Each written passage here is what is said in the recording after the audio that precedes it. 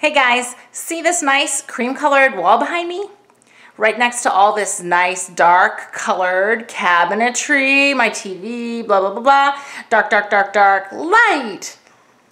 Stands out like a sore thumb. I hate it. So I decided to do a leather wall. Now I've done this a couple of times over the years, um, mostly with a, a brown color tan, all natural. This time I went a little crazy. Gonna do a red leather wall. So this project looks pretty neat, right? Let's go over what you're gonna need to get it done, all right? Basically, you're gonna need a medium to thin weight craft paper. I bought this on Amazon. I think the whole roll was $12. I have a ton left. I could probably do two small bedrooms with this. And essentially what we're doing is turning that brown craft paper into this, which looks to me like leather. When it's on the wall, it looks like leather. It's pretty great. So in between this and this, um, we're going to paint the paper red, tear it up, crumble it, uncrumble it, and then use a glaze paint mix to paint it and then wipe it clean. So it, it's kind of labor intensive, but it's not hard by any means. It's a little messy, get some rags. Um, but the other things we're gonna need are, um, you know, a paintbrush or some spongy brushes. Um, I, I originally was using this to use the glaze mixture, but I think I like the spongy brushes better. My glaze mix is simply a can of brown, dark, dark brown paint.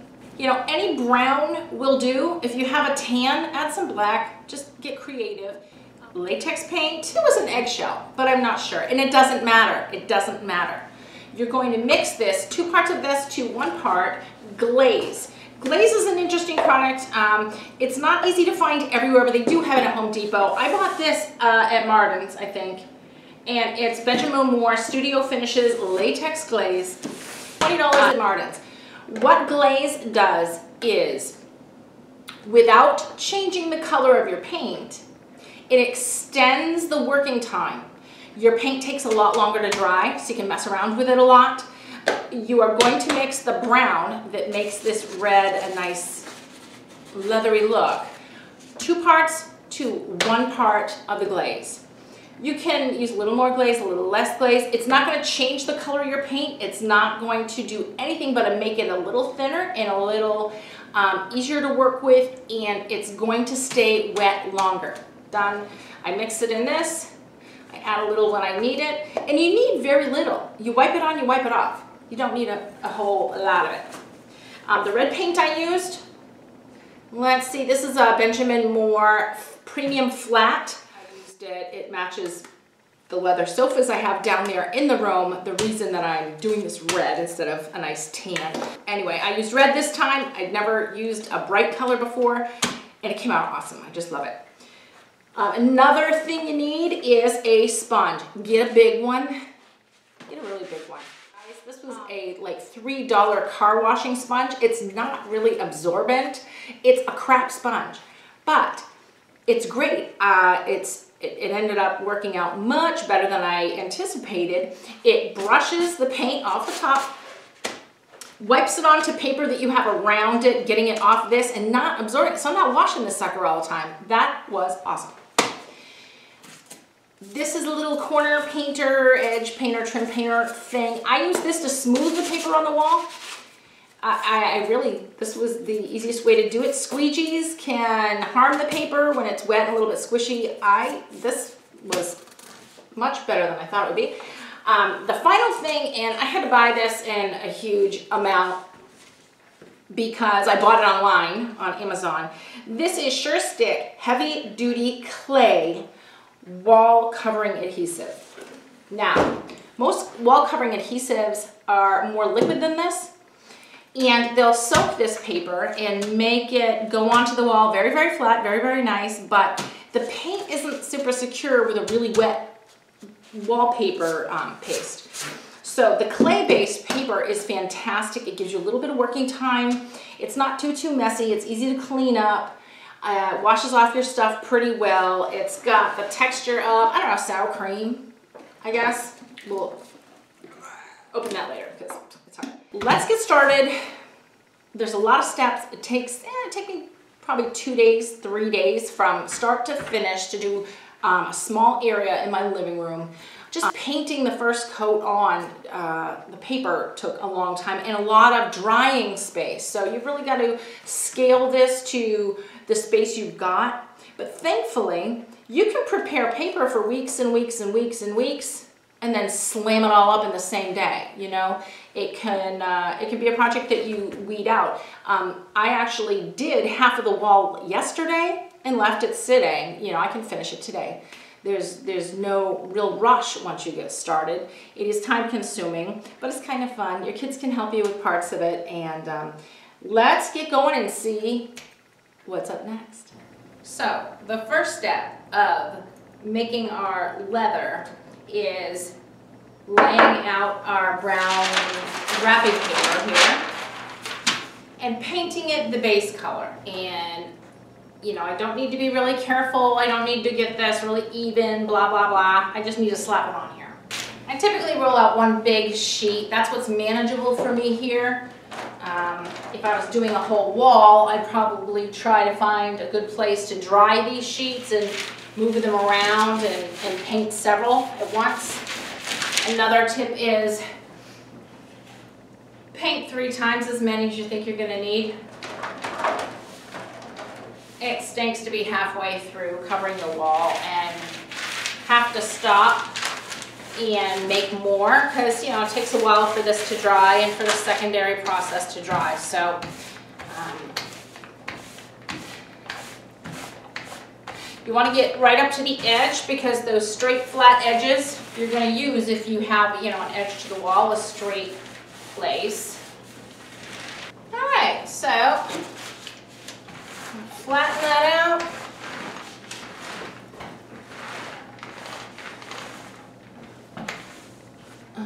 Let it dry. Then we'll come back for step two. Stick with me, okay? So it's morning two, and I have dried the um, piece of paper that I painted last night. I actually set a couple things underneath of it to lift it up and let airflow get under it because I want it through and through dry. So we'll go on to the next step, which is ripping it up and crumbling it. Now, not something normally to do in the project, tear it all up again, but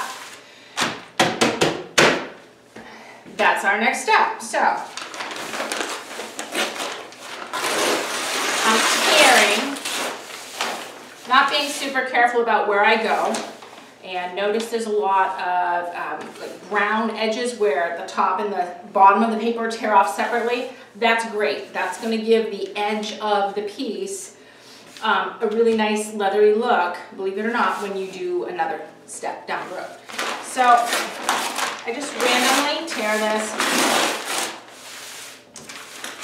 I tear it into fair sized chunks. I can always make it smaller later. If you're doing a really small area, say, backsplash or something, you might want to tear it into really small little chunks. But if you're doing a whole wall or a whole room, that gets tiring really, really fast. So,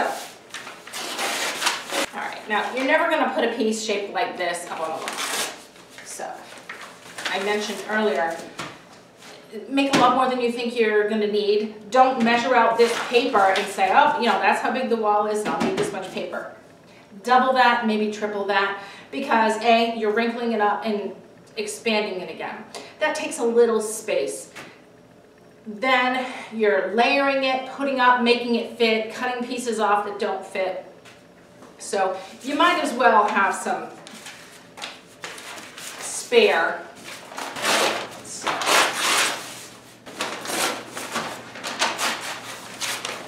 Now,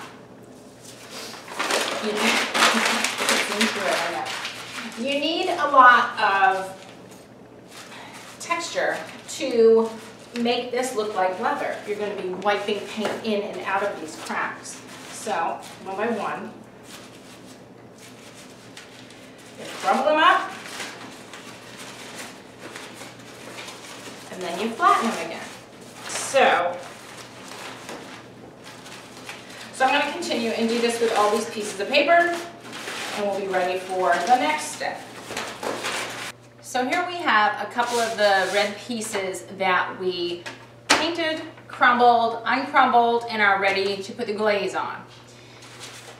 And what I do first is I put it on some paper. I'm to want that to absorb some of the paint that I wipe off. I have my paint and glaze mixed here.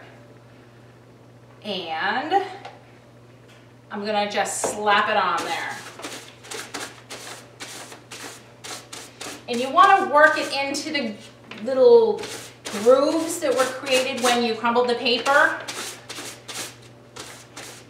Because that's what's going to create the texture, even though when we put it on the wall, a lot of that texture goes away.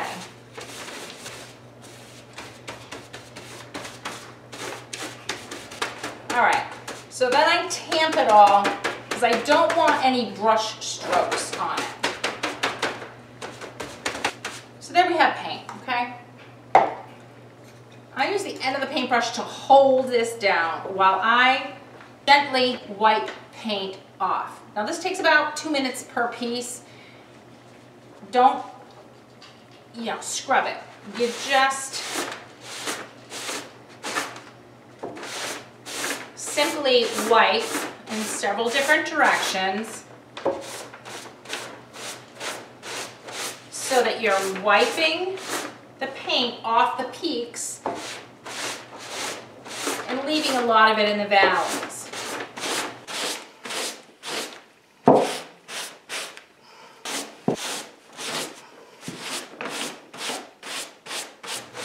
I'm moving around, I'm moving it in different directions, and I'm wiping with this really non-absorbent, like crappy sponge from, you know, washing the car. It's not picking up any paint. It's wiping it off and sticking it to this paper.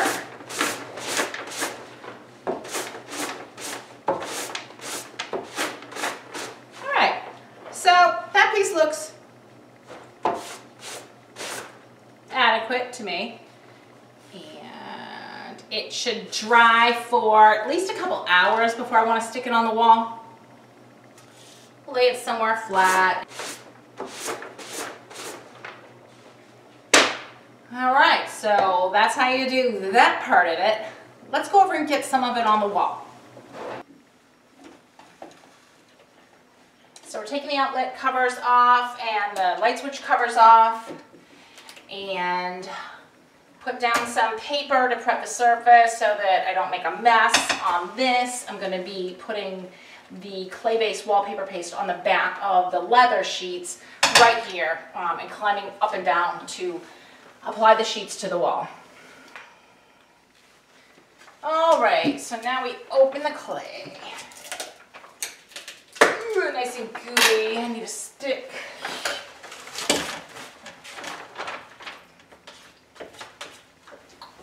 All right, you can put this on with a paintbrush or you can use a spatula, you can use a myriad of things. Um, lately my favorite thing has been a spatula. Make sure you get the edges really well. This is a really big spatula compared to what I'm used to using, so let's see how this goes. I don't want this very thick because then that's just more stuff that makes it all texturized underneath with a not good texture. So I get it all the way to the edges.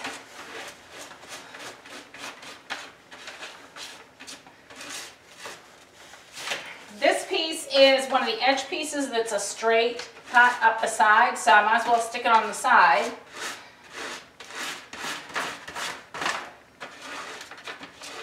I'm just getting that paste on, squeegeeing it with this tape knife, or this, whatever this is.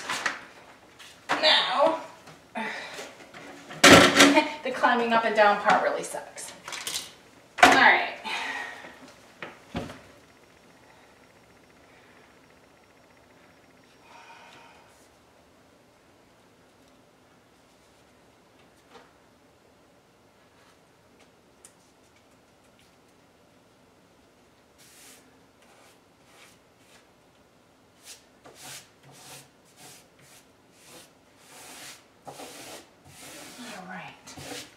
So you have a minute or two to reposition it, move it around, flatten it out. I have a nice rubber squeegee. Let's see how this works. So the important thing is to get this stuck down. If there's a couple of little wrinkles in it, I, I don't, I don't care. It looks like leather and um, that's why we're using the clay-based wallpaper paste. It's, it's for textured wallpaper so it doesn't mash everything down and soak it and all that. So I'm wiping it down with my hands, just kind of making sure there's no real air bubbles.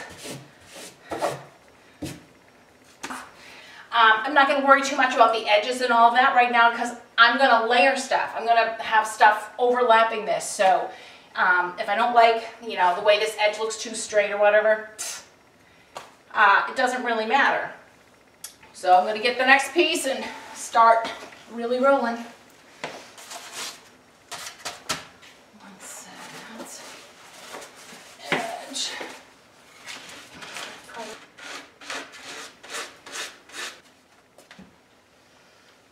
Another thing I bought to wipe it down with are these little like corner painty edgy things. They've got a nice like uh, fleece on this surface and it's it goes over it really nice. So it's another way to save your hands. But get this all mashed down well. Perfect. So have a nice clean surface again.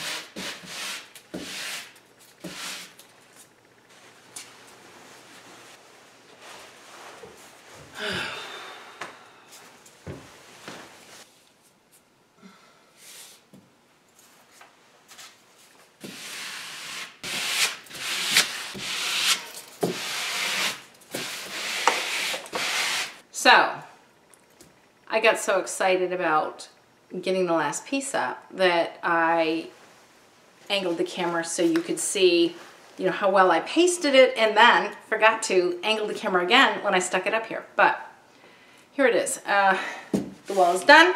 Earlier today I covered the switch plate and the outlet cover and stuck them on here. So you can see that pretty well. They're they're looking good. I'm gonna go around and, and make sure there's a couple edges that I just need to glue down really well. Um, it's driving me crazy. If you miss something, you can just get a brown Sharpie,